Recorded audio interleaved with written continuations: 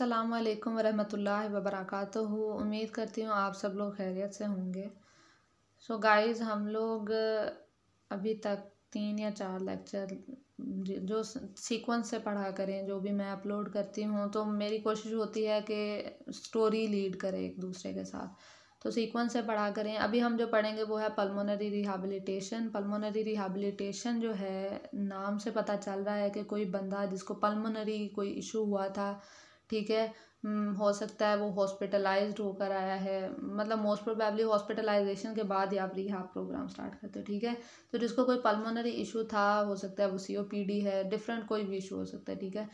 तो उसके बाद आपने उसको नॉर्मल लाइफ की तरफ़ लेकर आना है, ठीक है? तो पल्मोनरी रिहेबिलिटेशन क्या होती है, ये हमारा पास्ट का क्वेश्चन है, ठीक है?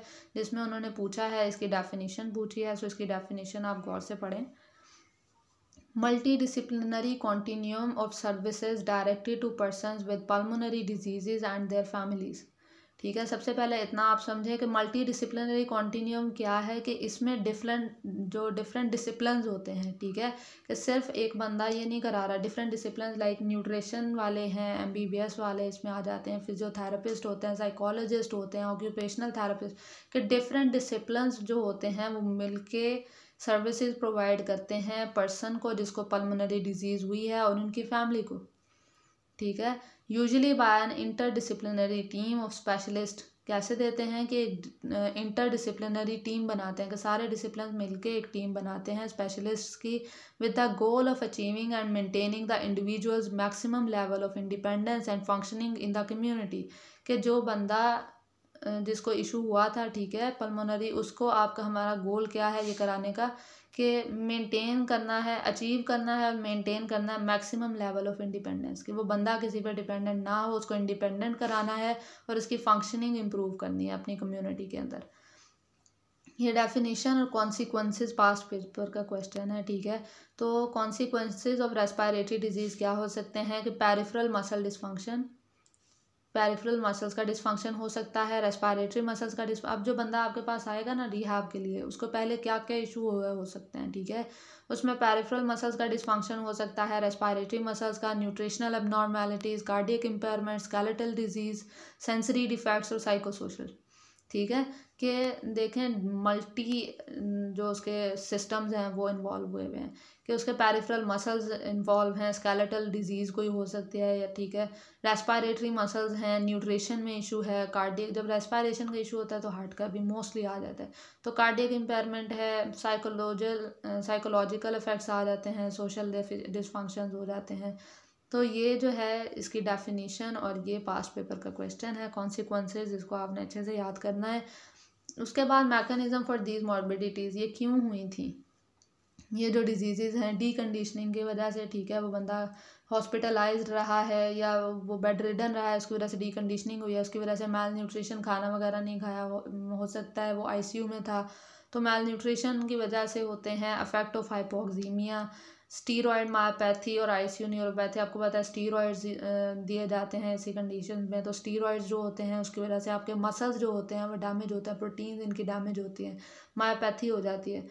तो हमने कहा ना स्केलेटल डिजीजेज या जो आपके पैरिफेरल मसल्स हैं, वो अफेक्ट होते हैं तो वो किस वजह से हो रहे हैं? स्टीरॉयड मायोपैथी हो सकती है, आईसीयू की न्यूरोपैथी हो सकती है हाइपर इन्फ्लेशन हो सकती है डायफ्रामेटिक फटीक की वजह से साइको सोशल डिसफंक्शन फ्रॉम किस वजह से कि एंगजाइटी होती है गिल्ट होता है डिपेंडेंसी और स्लीप डिस्टर्बेंस के ये सारी चीज़ें जो उसके जहन में हैं कि भाई मैं अब डिपेंडेंट हो गया हूँ, अब मैं शायद सारी ज़िंदगी ऐसा रहूँगा, ये, वो। तो इस तरह की चीज़ें उसको एंगजाइटी गिल्ट और डिपेंडेंसी वगैरह जो है, उसको साइको सोशल डिसफंक्शन कॉज करती हैं। तो ये सारी चीज़ें, ये जो इश्यूज़ हैं, इसकी वजह से आपको ये कॉन्सिक्वेंसेस फेस करना पड़ते हैं, जिसको कोई पल्मोनरी इशू है तो हमने इन सबको ठीक करना है। रिहाब प्रोग्राम क्या है? इसको दोबारा से ठीक करना। ठीक है? नॉर्मल की तरफ़ लेके ना अब हमारे गोल्स क्या हैं? हम क्यों करा रहे हैं pulmonary rehabilitation to reduce symptoms, decrease disability, increase participation in physical and social activities and improve overall quality of life कि जो सिम्टम्स आ रहे हैं, कम से कम करें, वो डिसेबल है तो उसको कम से कम करें, कि डिसेबल ना रहे, वो अपना काम खुद कर सके इंडिपेंडेंट हो जाए, उसका पार्टिसिपेशन सोशल और फ़िज़िकल एक्टिविटीज़ में बढ़ाएँ, ठीक है?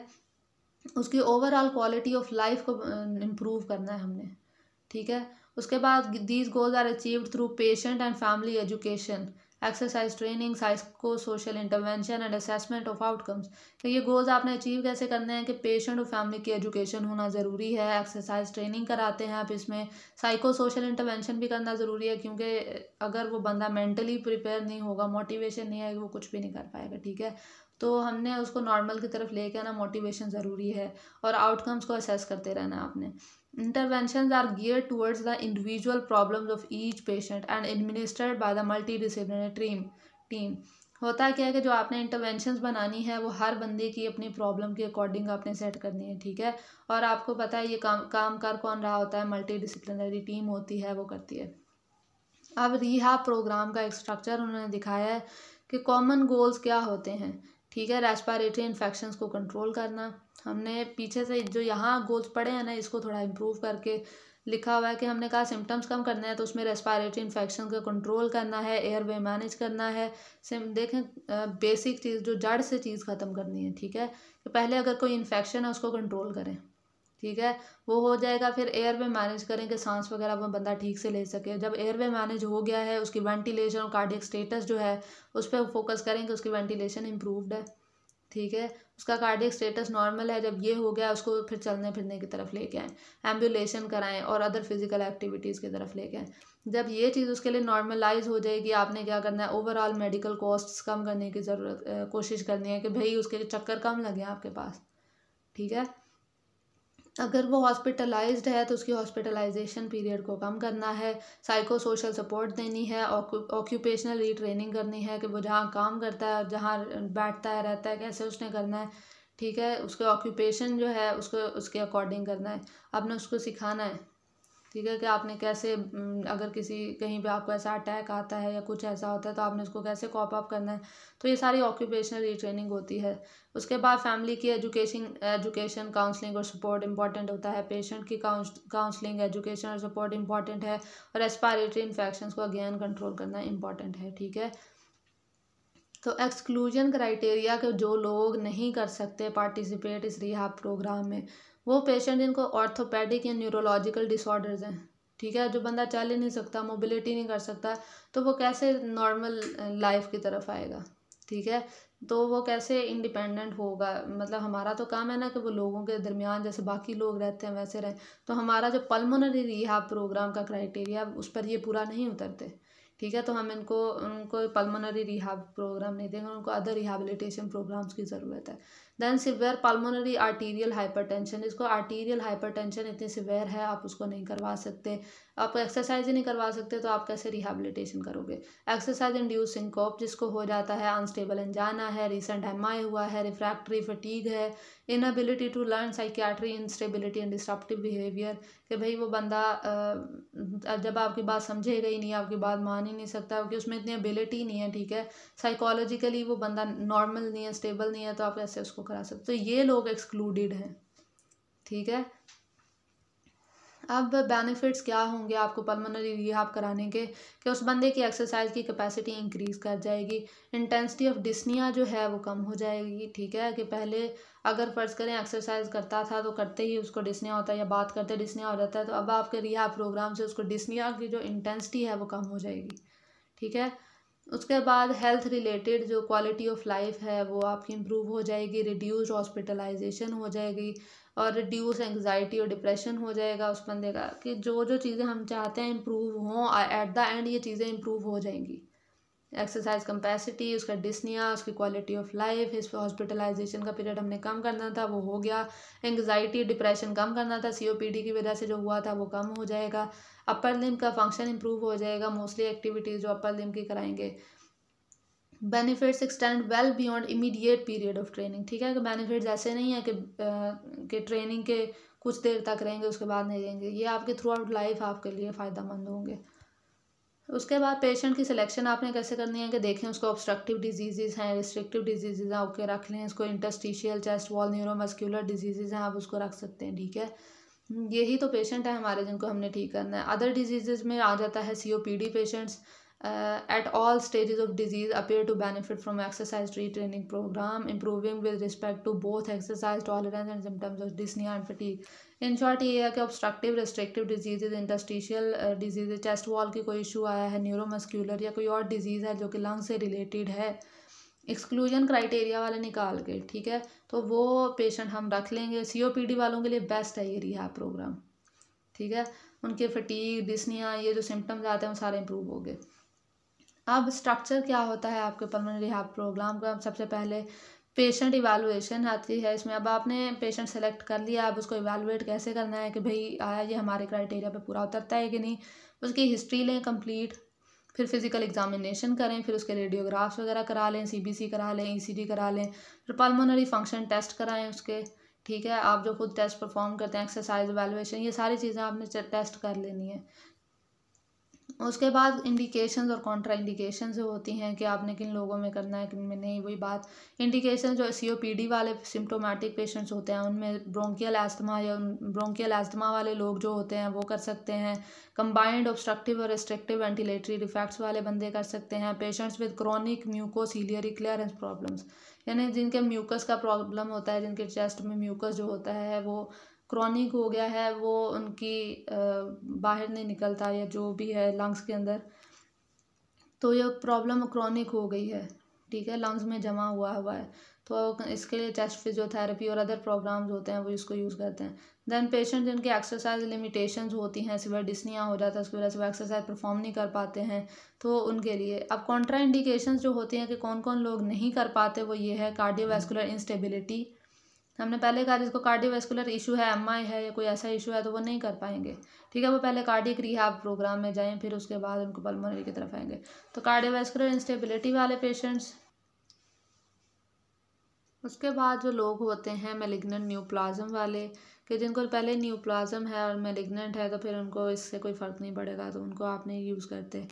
उसके बाद पेशेंट विद सिवियर आर्थराइटिस और न्यूरोमस्क्यूलर एबनॉर्मेलिटीज़ के ये बंदे मूव ही नहीं कर पाते तो इनको आप कैसे कराएँगे? तो आर्थराइटिस अगर सिवियर है न्यूरोमस्क्यूलर एबनॉर्मेलिटीज़ हैं तो ये पहले फ़िज़िकल थेरेपी कराएँ, उसके बाद अब इस रिहैब प्रोग्राम के अंदर आएँ। तो उसके बाद प्रोग्राम डिज़ाइन दो तरह के होते हैं ओपन एंडेड होता है क्लोज डिज़ाइन होता है। ओपन एंडेड में होता है कि बंदा जब तक उसके सारे जो आपने गोल्स रखे हैं, जब तक वो पूरे नहीं होते, तब तक वो इस प्रोग्राम का हिस्सा रहेगा। क्लोज एंडेड होता है, क्लोज डिज़ाइन ये होता है कि वो बंदा हमने टाइम रखा होता है, फ़र्ज़ करें चार महीने का ड्यूरेशन है, इसके अंदर ये सारे गोल्स पूरे होने चाहिए, ठीक है? और इस इस केस में जो क्लासेस होती हैं, one two three times per week रखी जाती हैं, ठीक है? और छः से सोलह वीक्स, यानी कि कोई चार महीने तक, स्पेसिफिक पीरियड उसको बता देते हैं कि इतना टाइम होगा, ठीक है? इतनी क्लासेस आप लेंगे, उसके बाद आप ठीक है।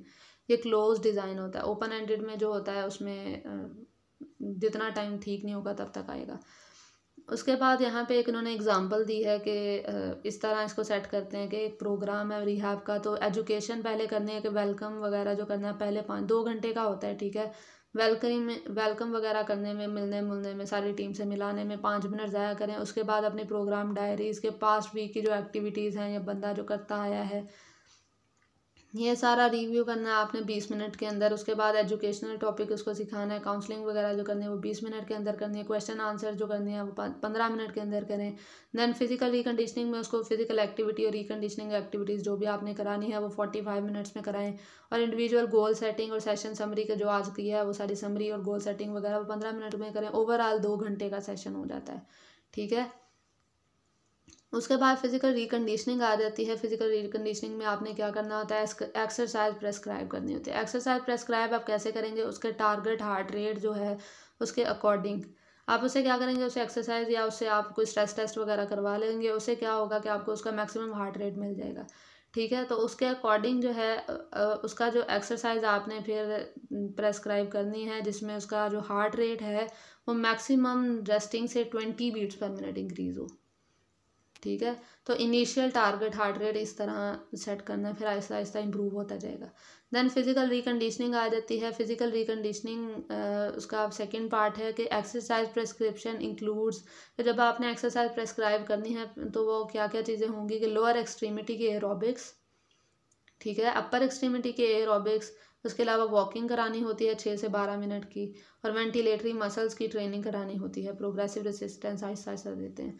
अब एजुकेशनल कंपोनेंट में आ जाता है कि आपने उसको रेस्पायरेटरी स्ट्रक्चर बताना है कि ये नॉर्मल स्ट्रक्चर है, इसका काम ये है, ये पैथोलॉजी हुई हुई है इस वक्त इसमें, ठीक है ब्रीदिंग कंट्रोल सिखानी है कि ब्रीदिंग आपने कैसे अपनी कंट्रोल करनी है रिलैक्सेशन कैसे करनी है, स्ट्रेस मैनेज कैसे करना है, ये सारी चीज़ें उसको हमने सिखानी है। एक्सरसाइज की टेक्निक्स बतानी है, पर्सनल रूटीन्स कि जो जो चीज़ें उसे बताने वाली हैं, वो एजुकेशनल कंपोनेंट में आ जाएँगी, ठीक है? उसको हर चीज़ सिखानी है। उसके बाद ब्रोंकियल हाइजीन की टेक्निक्स बताएँगे home oxygen and aerosol therapy जो आप ऑक्सीजन वगैरह अगर घर में उसने यूज़ करनी है, कैसे करनी है, ये सारा उसको सिखाएँगे। मेडिकेशंस कैसे यूज़ करनी है, कितनी करनी है, क्या डोज लेनी है, किस टाइम लेनी है सारी चीज़ें उसको बताते जाना है। डाइट्री गाइडलाइंस दें रिक्रिएशन वोकेशनल काउंसलिंग आ जाती है। दैन एजुकेशन में आपने इनक्रेज करना है कि भाई एक्टिव पार्टिसिपेशन करो, जो भी काम हो रहा है, ठीक है एक्टिव पार्टिसिपेशन करो। ठीक है, जितना तुमसे होता है उतना करो। बेटर अंडरस्टैंडिंग ऑफ़ डिज़ीज़ उसको बताने की, अगर उसको डिज़ीज़ का पता ही नहीं है कि मेरे में क्या इशू हुआ है, अगर उसको डिज़ीज़ की अंडरस्टैंडिंग नहीं है, वो उसको रिहाब जो है वो प्रॉपर नहीं कर पाएगा, उसको कोप अप कैसे करेगा, उसको जब पता ही नहीं है वो किस चीज़ से डील कर रहा है। उसके बाद हमने कॉम्प्लायंस इम्प्रूव करानी होती है। मेडिकेशन और अदर थेरेपीज़ में क्या है कि उसको मेडिकेशन की टाइप बतानी कौन सी मेडिसिन आप ले रहे हो, उसका एक्शन क्या एडवर्स इफ़ेक्ट क्या, कितनी डोज लेनी है प्रॉपर यूज़ क्या है अगर इन्हेलेशन कोई मेडिकेशन ले रहा है इन्हेलेशन से उसको बताएँ कैसे उसको करना है यूज़ करना है इंस्ट्रक्शन दें इन्हेलर टेक्निक जो होती है कि इन्हेलर अगर वो यूज़ कर रहा है, उसको कैसे यूज़ करना है, वो बताएँ। अगर ऑक्सीजन उसने यूज़ करनी है तो कैसे करनी है, ये सारा कुछ उसको बताना है। देन साइको सोशल इंटरवेंशन में आ जाता है कि उसकी anxiety depression difficulties with coping with chronic disease ये सारी चीज़ें जो हैं, आपने उसको कोप अप कराना है। ठीक है? अब ये साइको सोशल आ गया है कि उसका साइकोलॉजी को, उसको एंगजाइटी होती है, उसको डिप्रेशन होता है, वो अपनी क्रोनिक डिज़ीज़ से कॉप अप नहीं कर पा रहा होता। ठीक है? तो आपने उसको कॉप अप कराना सिखाना है। उसको मोटिवेशन देनी है कि उसकी एंगजाइटी उसका डिप्रेशन ख़त्म हो, कि भाई ये कोई ऐसी कंडीशन नहीं है कि तुम इंडिपेंडेंट नहीं हो पाओगे, ठीक है? तुम हो जाओगे। तो उससे उसका जो मोटिवेशन है, वो इंक्रीज़ होगी और वो कोई भी काम आपके साथ एक्टिवली उसमें पार्टिसिपेट करेगा। Then added by regular patient education session और सपोर्ट ग्रुप्स ये अगर रेगुलर एजुकेशन होती जाए तो बंदा जो है वो आहिस्ता आहिस्ता उसमें एंगजाइटी और डिप्रेशन ख़त्म होता जाता है। Instruction in progressive muscle relaxation stress reduction panic control के अगर एंगजाइटी अटैक्स जो होते हैं ना, वो भी बहुत होते हैं। ये एंगजाइटी की वजह से ही अक्सर लोगों को डिसनिया और ये सारा कुछ होना शुरू हो जाता है। अस्थमा अटैक इमोशनल कंडीशन में आ जाता होता है, ठीक है? तो उनको कंट्रोल करना, बताना है कि भाई आपने कैसे अपने आप को कंट्रोल करना है स्ट्रेस को कैसे मैनेज करना है रिलैक्स कैसे रखना बॉडी को? तो ये सारी चीज़ें आ जाती है उसमें। उसके बाद चेस्ट फ़िज़िकल थेरेपी करें पर्स लिप ब्रीदिंग उसको बताएँ पर्स लिप ब्रीदिंग से क्या होगा कि उसका जो डायनामिक एयरवे का कोलाप्स होने के मूवमेंट के दौरान एयरवे कोलाप्स होने के चांसेस जो हैं वो कम हो जाएँगे। क्योंकि पहले से ही लंग्स जो हैं वो डिज़ीज़ कंडीशन में है तो कोलैप्स होने के अगर चांसेस हैं तो पर्स लिप ब्रीदिंग उसको सिखाएँ। पोस्टर टेक्निक्स जो होती हैं कि अगर तुम्हें, अगर इशू आ रहा है, ठीक है सांस लेने में तो आगे की तरफ़ थोड़ा झुक के बैठ जाओ, ठीक है? उससे क्या होगा कि जो आपका डायफ्राम है, उसको ज़्यादा ज़्यादा एरिया मिल जाएगा, जो आपके एबडोमिनल कंटेंट है, वो शिफ्ट हो जाएँगे तो इससे इजीली आप ना इनहेल कर पाओगे, आपका डायमीटर जो है, वो इंक्रीज़ हो जाएगा लॉन्गिट्यूडिनल देन डायफ्रामेटिक ब्रीदिंग होती है डायफ्राम के जिन लोगों में एयर ट्रैपिंग होती है हाइपर इन्फ्लेशन के केसेस होते हैं, उनमें जो डायफ्रामेटिक ब्रीदिंग है, उससे क्या होगा? वर्क ऑफ़ ब्रीदिंग इंक्रीज़ होगा, ठीक है? और ये जो एयर ट्रैप हो रही है, ये बाहर निकल जाएगी। तो ये टेक्निक उसको सिखानी है पोस्टल ड्रेनेज जो है, कि अगर किसी बंदे में थर्टी सी सी पर ट्वेंटी फोर आवर्स तो थर्टी सी सी से ज़्यादा म्यूकस प्रोड्यूस हो रहा है, ठीक है? तो उसको कफ़िंग टेक्निक सिखानी है कि भाई इसको कफ़ के थ्रू निकालो। ठीक है? इससे कम जो है वो बियरेबल है, वो बर्दाश्त हो जाएगा, वो खैर है, ठीक है? वो निकल जाएगा। सीलियाज होते हैं, वो क्लियर कर देते हैं, लेकिन लेकिन जो जिन लोगों में नहीं हो पा रहा थर्टी सी सी ज़्यादा म्यूकस प्रोड्यूस हो रहा है दैन उसको कफिंग से निकालें। देन न्यूट्रिशनल असेसमेंट होती है कि डाइट बहुत इंपॉर्टेंट है। Diet history B M I वगैरह लें ओवर अंडर वेट देख लें कि बंदा ओवर वेट अंडर वेट है। Than classes in weight management nutritional counselling ये सारा कुछ उसकी करनी है वेट मैनेज करना है। अगर सी ओ पी डी और डाइट का आपस में क्या रिलेशनशिप है कि डाइट और न्यूट्रिशन जो है ट्रीटमेंट का इंपॉर्टेंट पार्ट होना चाहिए। सी ओ पी डी में क्या होता है कि वर्क ऑफ़ ब्रीदिंग इंक्रीज़ हो जाता है। जब वर्क ऑफ़ ब्रीदिंग ज़्यादा है तो आपके मसल्स को ज़्यादा एनर्जी चाहिए और जब आपकी डाइट कम है तो एनर्जी कम होगी और आपके मसल्स वीक होते जाएँगे, ठीक है? तो मसल्स को तकरीबन टेन टाइम्स मोर कैलोरीज चाहिए होते हैं जब किसी बंदे को सी ओ पी डी है, ठीक है? तो ज़्यादा न्यूट्रिशन इसलिए गुड न्यूट्रिशन इम्प्रूव जो है उसकी हेल्थ को इम्प्रूव करने में हेल्प आउट कराएगी और चेस्ट इन्फेक्शन वगैरह से उसको बचाएगी। दैन जनरल डाइटरी एडवाइस यही है कि वैरायटी ऑफ़ फूड्स खाएँ, ये नहीं है कि आपको लिमिट कर दें खुद को। वैरायटी ऑफ़ फूड्स खाएँ सॉल्ट इनटेक ज़रा कम लें, ठीक है? फ्लूड ज़्यादा से ज़्यादा लें, पानी छः से आठ ग्लासेस लें इंक्लूड हाई फाइबर फ़ूड खाएँ, ठीक है? Veg vegetables fruits whole grain foods आपको पता है हाई फाइबर फूड्स क्या होते हैं। Then eat several small meals के ज़्यादा खाना, पेट भर के नहीं खाना ना, उससे इशू हो सकता है। तो आप क्या करेंगे? आप थोड़ा थोड़ा करके खाएँ। ठीक है कि ज़्यादा बार खा लें, लेकिन थोड़ा थोड़ा करके खाएँ कि आपका जीआईटी जो है एकदम से फुल ना हो जाए, आपकी कार्डिक आउटपुट फिर इंक्रीज़ करना पड़े, हो जाएगी तो फिर उसकी वजह से इशू आते हैं। तो आप थोड़ा थोड़ा करके खा लें।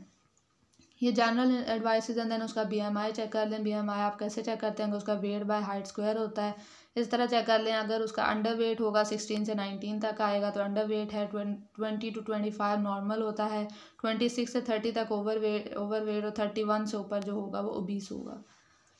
अब अगर बंदा अंडर वेट है तो उसके लिए क्या एडवाइस होगी? उसको कहना है रेगुलर मील्स लेनी है और स्नैक्स स्नैक्स होता है कि मील्स के अलावा इधर उधर की चीज़ें खाते पीते रहो। ठीक है? इन लोगों को कहना है कि भाई खाते पीते रहो। ठीक है? आप एनी थिंग जो आपको अच्छी लगती है, आप उसको खाओ, ठीक है? स्मॉल प्लेट में खाओ कि भाई भर के नहीं खाना, एकदम से आपने पेट नहीं भरना। ये बात हमने पहले भी बताई। और दूसरा, आपने आपको वेजिटेबल और सैलड वगैरह से पेट भर लिया, कोई फिजी ड्रिंक्स वगैरह ले ली, ये नहीं करना आपने। बाकी चीज़ें भी खाओ। ठीक है? सिर्फ़ वेजिटेबल पतले होने वाले लोग खाते हैं ना सैलड्स और सब्ज़ियाँ, ये चीज़ें। तो हमने पतला, पहले ही पतले हैं, ठीक है? तो इन लोगों को आपने कहना है कि बाकी चीज़ें भी खाओ। Sip nourishing high energy fluids जो होते हैं like milk hot chocolate milk shakes ये चीज़ें ज़्यादा से ज़्यादा पिए। शॉर्ट वॉक कर लिया करें उससे आपकी भूख बढ़ जाए, बढ़ जाएगी खाना खाने से पहले तो आप, भूख बढ़ जाएगी, ज़्यादा खाना खा सकेंगे। उसके बाद shortness of breath while eating आप कुछ लोग होते हैं जिनको इश्यूज़ तो सारे लंग्स के हैं ना तो इसमें क्या होता है कि खाना खाते हुए क्या होता है कि उनको डिसनिया हो जाता है, ठीक है? तो इनको कहते हैं कि स्लोली खाओ। ठीक है? खाना वो खाओ जो आप इजीली चबा सकते हो, ठीक है? सॉफ्टवेयर फूड्स खाओ, पाँच से छः स्मॉल मील्स ले लो, ठीक है? एकदम से आप ज़्यादा ज़्यादा नहीं खा लो, ठीक है? ये दो टाइम ही खाना है, मैंने तीन टाइम ही खाना पेट भर के खा लेता हूँ। ये नहीं ज़्यादा बार खा लो, लेकिन कम कम खाओ। और वाइल सिटिंग अब बैठते हुए खाओ, और बैठ के खाने से क्या होता है कि प्रेशर जो है, वो आपके लंग्स पे कम हो जाता है, और आपके रेस्पायरेशन पे इतना अफेक्ट नहीं होता। तो ये सुन्नत भी है, ठीक है? तो बैठ के खाना चाहिए। उसके बाद न्यूट्रिशनल सप्लीमेंट्स हैं। न्यूट्रिशनल सप्लीमेंट्स में क्या है कि आप अगर उस बंदे को फ़ायदा नहीं पहुँच रहा उससे तो वो सप्लीमेंट्स ले। ठीक है सप्लीमेंट्स में कॉम्प्लान और बिल्डअप उन्होंने बताया कि ओवर द काउंटर मिल जाते हैं। अदर और भी चीज़ें होती है जो आपको प्रेस्क्राइब करा सकते हो। ठीक है, वो लें। उसके अलावा डिफरेंट फ्लेवर्स में उसको यूज़ कर लें, अगर आप ऐसे नहीं पी सकते तो या खा सकते। उसके अलावा आप रेसिपीज़ डिफरेंट रेसिपीज़ में मिल जाते हैं। न्यूट्रिशनल लाइक मिल्क पुडिंग में मिल जाएगा आइसक्रीम में कस्टर्ड में मिल्क शेक मोमोसेस वगैरह में। उसके बाद डाइटरी एडवाइस अगर आप ओवर वेट हैं तो ओवर वेट वालों को क्या कहना है कि भाई आपकी क्यों हुआ है ओवर वेट के एनर्जी इनटेक फ़ूड से इनकी ज़्यादा होती है? ठीक है, इन्होंने फ़ूड से ज़्यादा एनर्जी ली हुई है, ठीक है एक्सरसाइज टॉलरेंस फिर इसकी कम हो जाएगी इनकी। ठीक है, कि जो ओवर वेट बंदा है, वो एक्सरसाइज ज़्यादा बर्दाश्त भी नहीं कर पाएगा और स्टीरॉयड यूज़ करने की वजह से बंदा ओवर वेट हो जाता है।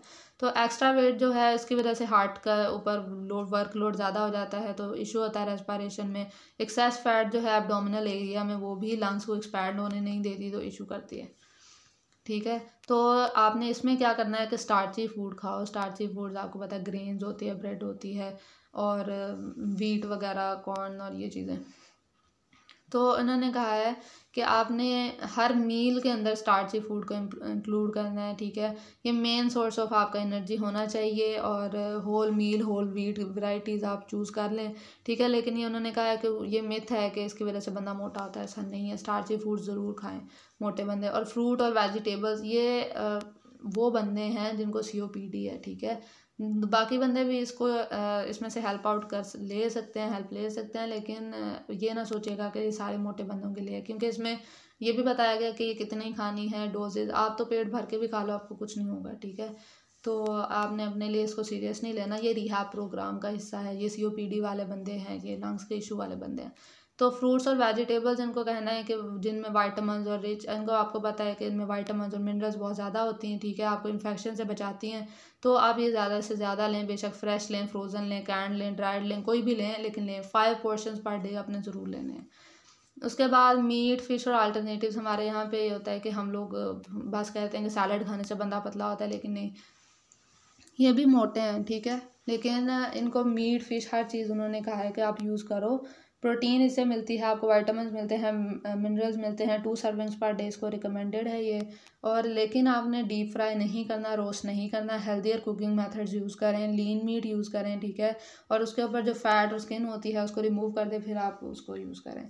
मिल्क और डेयरी प्रोडक्ट्स ज़रूर चाहिए होते हैं क्योंकि आपको कैल्शियम की ज़रूरत है प्रोटीन मिलती है यहाँ से। थ्री सर्विंग्स पर डे इसको यूज़ करें। सेमी स्किम्ड मिल्क यूज़ करें फुल क्रीम मिल्क यूज़ ना करें। लो फैट चीज़ेज़ यूज़ करें, ठीक है? लो फैट योगर्ट्स यूज़ करें, जो लोग लॉन्ग टर्म स्टीरॉइड्स में हैं, उनके कैल्शियम की डेफिशिएंसी होती है उनको तो वो मिल्क वगैरह ज़रूर लें। Than fatty and sugary foods जो होते हैं, ये अवॉइड करने हैं। आप शुगर की बजाय स्वीटनर्स यूज़ करें, ठीक है? लोअर कैलोरी शुगर फ्री जो होते हैं शुगर ड्रिंक्स होती हैं, ये आपने लेनी है। शुगर ड्रिंक्स नहीं लेनी शुगर फ्री लेनी है, ठीक है? स्वीट्स और पुडिंग्स ये जो सारी चीज़ें होती हैं ना चॉकलेट्स वगैरह ये आपने एज ट्रीट करने का मतलब बहुत कम कभी कभार, ठीक है?